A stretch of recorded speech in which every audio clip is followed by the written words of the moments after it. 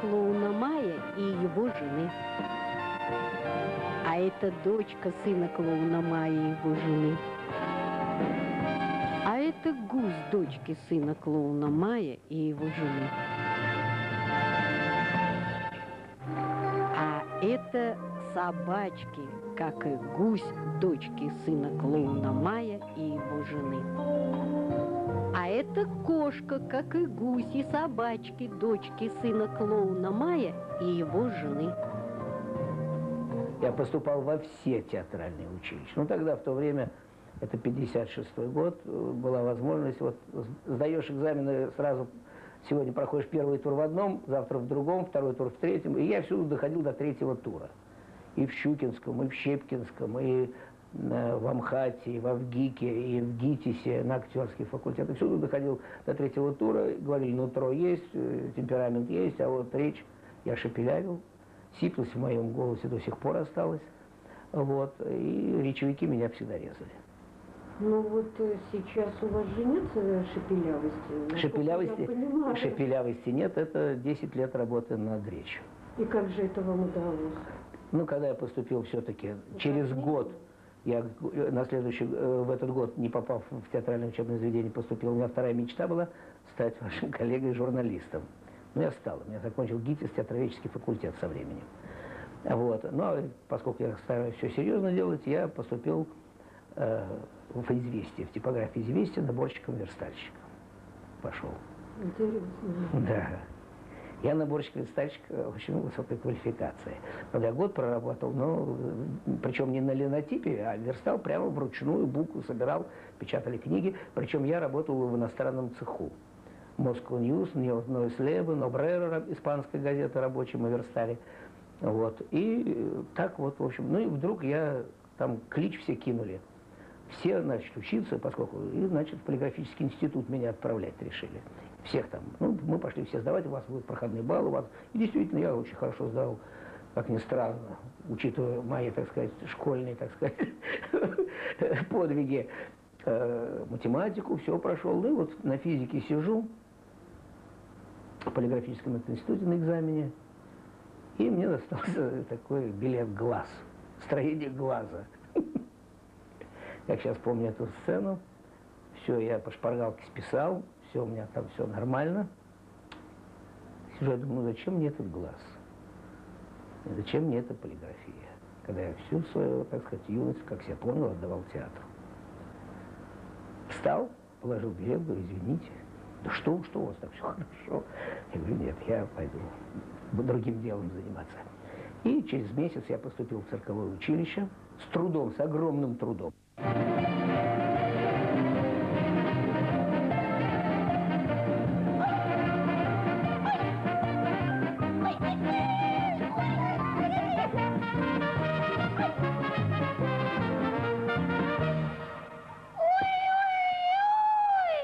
Клоун Май.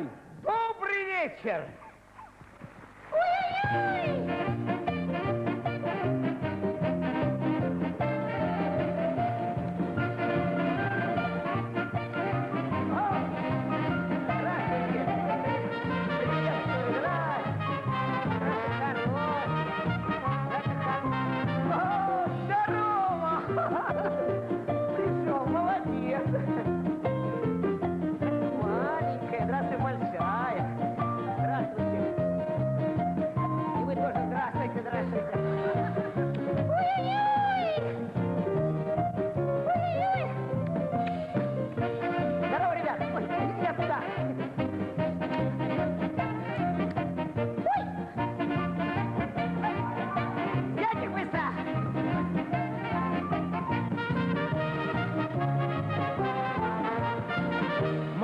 а чемоданчики? Бобо, момент, ню-ню, ку-ку, марш, домой. Хоп!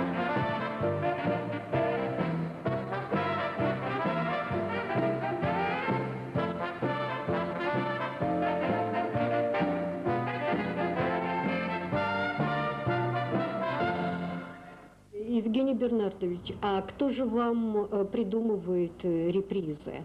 Вы сами э, пишете для себя или у вас есть автор, драматург, режиссер? Придумал, конечно, я сам какие-то вещи, потом автором мы все это обкручиваем, и в конце еще помогают мне в этом э, животные, с которыми я работаю. У меня собаки, коты, гуси.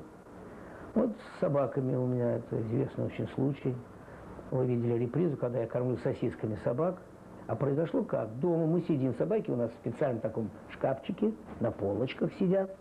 Вот дома, э, но обычно они в цирке, а тут при переезде они были дома. И вот мы сидим, кушаем, вдруг прибегает одна собачка, выбежала оттуда. Я вообще не разрешаю, дисциплинированный, у меня порядок. Сидя, села и тявкнула на задние лапки и просит. Ну, жена, я обычно не разрешаю со стола кормить, это для работы вредно, она она дала чего-то. Та убежала радостная и через секунду тащит всю свору. Вот так это или случайно получилось, или как, но так здорово, и все сели, вот так, и все выпрашивают тоже. Вот, ну все, вся семья наша захохотала, я говорю, ребята, это, это номер это будет хорошее. И вы видели, все это происходит сейчас на арене. С гусем потрясающе получилось. Я в свое время сделал прекрасную пантомиму, пять лет ее работал э, в Ленинградском цирке, теперь в Санкт-Петербургском. Тогда сделали, это был Ленинградский цирк. В 1984 году мы выпустили спектакль «Пантомиму Каштанка». Я играл там и э, несколько ролей сразу. Там она была интересно очень сделана. Я играл роль клоуна Майя, который трансформировался в клоуна Жоржа, мистер Жорж, который там главной роли. И потом я играл этого столяра Луку Демьяновича. Затем, значит, вот там у меня были коты, кот Федор Тимофеевич, гусь Иван Иванович, и каштанка была. Вот. И я, вот реприза с гусем, сцена, когда он умирает, гусь. Я отрепетировал, вот он бежал у меня, потом вдруг хромать начинал, ну там я дергал его за веревочку, он вроде как хромать начинал. Там есть знаменитая фраза, ой, что такое? А, я совсем забыл. Вчера на репетиции тебя ударила лошадь. Включалась лирическая музыка, снег вроде бы шел, я брал этого гуся, клал его на табуреточку, и он, лапки у него падали, шейка падала, и он отключался. Худсовет, когда собрался, он мне запретил эту сцену делать, дети плачут. Им жалко гуся. Я говорю, ну у Чехова-то все это написано, читают, значит, можно делать. Вот. Ну, я все-таки потом стал делать, дал, так сказать, фразу в конце «Марья, отнеси в дом». Давал какую-то надежду. Вот. И под, когда я расстался со, со спектаклем, эти все репризы, кот, вы видели, работает, э, э, значит, гусь, э, тоже у меня как бы гипноз я стал делать. Вот он, он не умирает, а засыпает. Да, реприза гипноз, гипноз, гипноз, он засыпает, ну и все. А тот финал, который вы видели с шеи, придумал гусь. Ню-ню, вперед!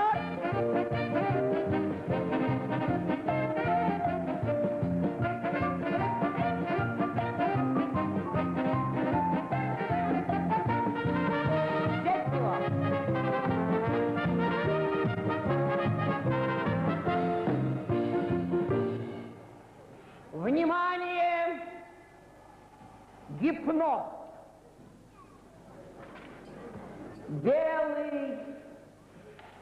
Орел. Смотри в глаза.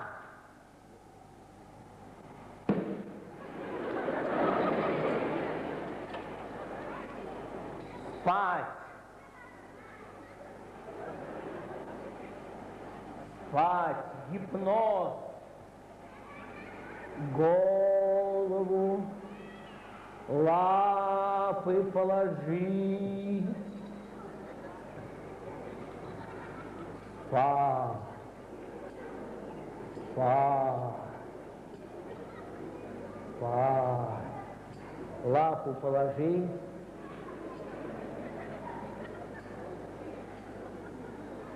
É tu lá foi falargi. Pá. Pá.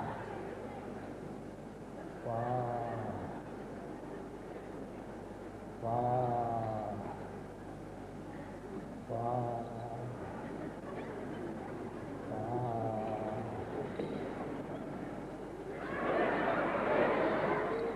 Голову под подушку.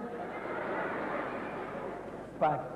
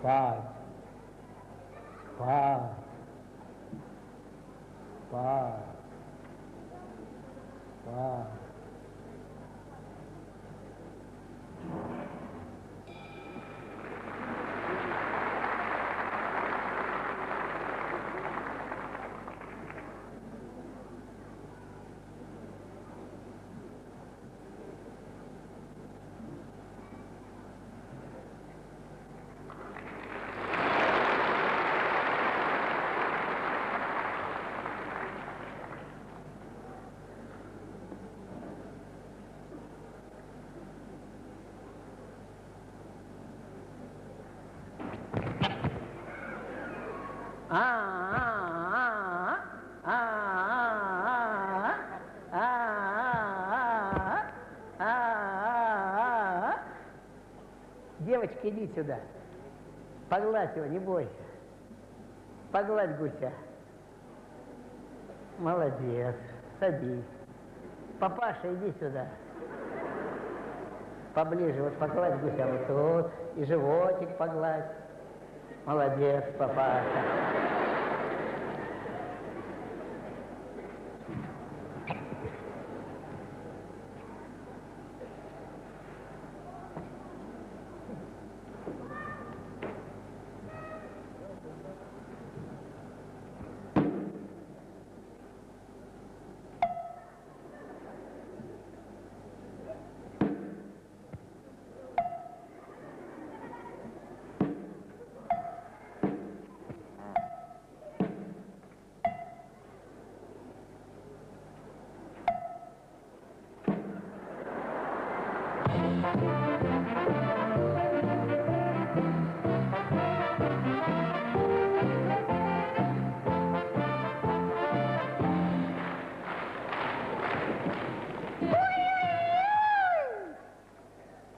Ахалай, Махалай. Махалай. Ахалай. Сосисочка. А, поросячья. Ой-ой-ой! Ой! Хищник прибежал. Сосиску? Ребят, дадим? Не слышу, дадим? На кусочек? Кыш! Исчезни, собака Баскервилей. Безобразие, Валерий Борисович, собака бегает. Ну что это? Куда контролеры смотрите, а? Ручки сложил. Родственников привел, а? Один, второй, третий, четвертый, пятый окружают. Ну что, ребят, дадим?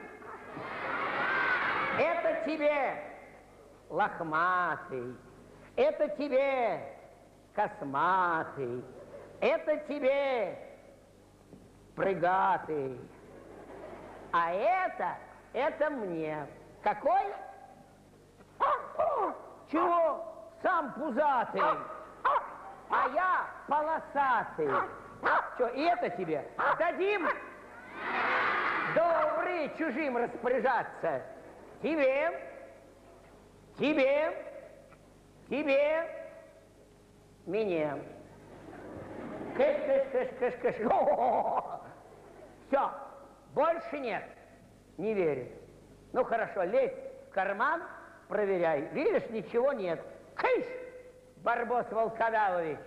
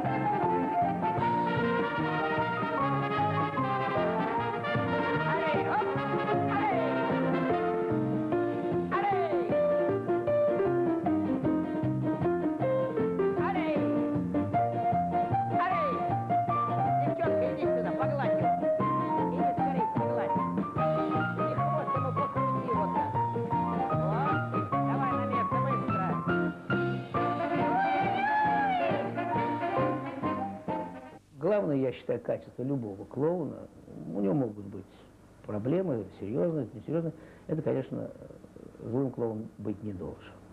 Он должен быть обязательно добрым. И в жизни тоже. Потому что это все равно... Да. Я очень требовательный, что касается работы, к ассистентам, к членам своей семьи, к артистам коллектива, программы, когда это мешает работе, мешает зрителям. Воспринимать полностью, стопроцентно спектакль или номер, или мою клоунаду. Вот, я требовательный, но все равно меня вроде так любят. А вот вы работаете, э, вы работаете на манеже вместе со своим сыном и вместе э, со своей супругой. Это вам помогает в работе? Да, конечно. Без них было бы сложнее. То есть вы часть э, какого-то действия на них перекладываете? Они на меня. А они на вас, да. Какое-то тепло домашнее, понимаете, создается домашнее. Но это типично для цирка. А- Обстановка, когда члены семьи рядом, работают с тобой. И мне стоило большого труда это, конечно, создать, укрепить, не разрушить, чтобы не были конфликты, были ссоры. Но, в принципе, сейчас, когда это все становилось, создавалось, фактически папа, мама мои, папа вот недавно умер, маме 81 год, она жива, еще в таком училище преподает, а она э, в учебной части работает. И, а раньше преподавал там акробатику, и папа преподавал в церковном училище. Вот. Ну, сейчас вот вся семья вместе. У меня дочь, прекрасная клоунесса, зять, клоун очень интересный. Они сейчас на гастролях в Польше. У них прекрасный номер, помимо того, что они коверными работают, как я в этом же жанре, они работают с кенгуру. Внук у меня пять лет, обалденный, конечно. Смешно. Мне по телефону дочка звонит и рассказывает все интересные всякие э, истории, которые происходят с ним. А, Внучка у меня работает, вот она молодец, работает с морскими животными, работает со мной в клоунаде, репетирует, жонглирует с бабушкой. А, Сын, жонглер, партнер мой клоун, на жа- ходит, жонглирует, дрессировщик высочайшего класса, заслуженный артист, они с Галей, с женой, с невесткой. Ну и все, мы дружно живем вместе. Галина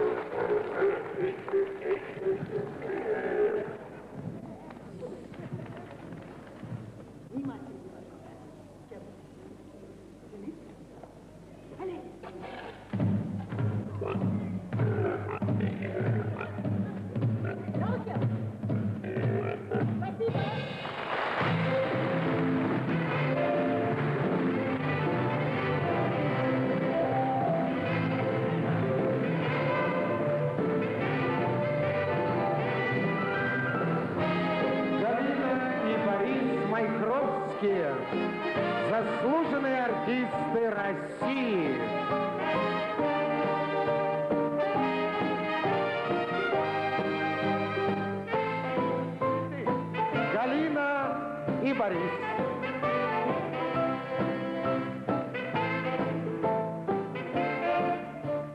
Кто вас назвал клоун Май? Вы сами? Я долго, ну, вообще это теория карандаша. Я с ней вполне согласен. Что карандаш говорил так. Кстати, я защищал диплом в ГИТИСе, творческий портрет народного артиста СССР Карандаша Румянцева. Вот. И мне приходилось с ним очень много общаться.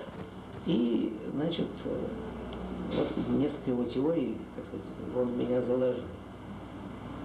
И он говорил, что если артист театра, тоже цирка приходит, раздевается, одевает костюм, гримируется, или парик одевает, принимает совершенно другой вид и облик, то он не может называться своей фамилией, он меняет, он совершенно должен другой образ него должен. А когда, допустим, играет в театре, человек может не выходит из своей фамилии, так и здесь. Вот это высший пилотаж. Ну вот я, в общем, долго ломал голову, и в мае родился в 72 году.